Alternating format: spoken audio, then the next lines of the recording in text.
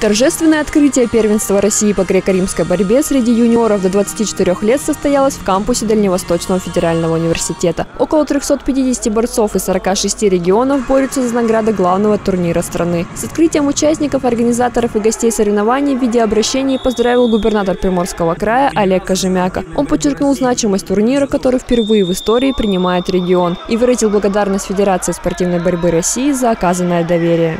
Мы дальше будем оказывать всестороннюю поддержку развитию этого вида спорта в нашем крае. Хочу поздравить всех со стартом соревнований. В течение трех дней будут проходить зрелищные схватки. Зашедшие здесь звезды будут представлять нашу страну на соревнованиях международного уровня. Желаю вам крепкого здоровья, благополучия, неиссякаемой энергии, новых высоких достижений и отличного спортивного настроения.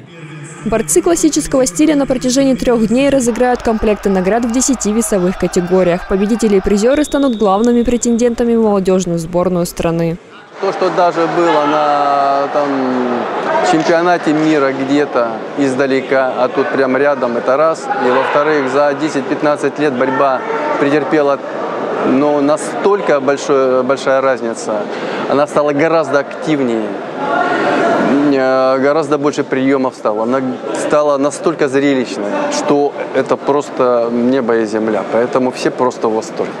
Зрелищные схватки будут проходить в корпусе С кампуса ДУФУ на острове Русский 26 и 27 апреля. Вход для зрителей свободный. Отметим, подготовка спортивного резерва, развитие спорта высших достижений массового спорта, создание условий для занятия физической культуры, повышение уровня обеспеченности населения спортивными объектами – приоритетные направления регионального проекта «Спорт. Норма жизни», реализуемого в Приморье в рамках нацпроекта «Демография». Анна Дьякова, Денис Фадеев. Новости на восьмом.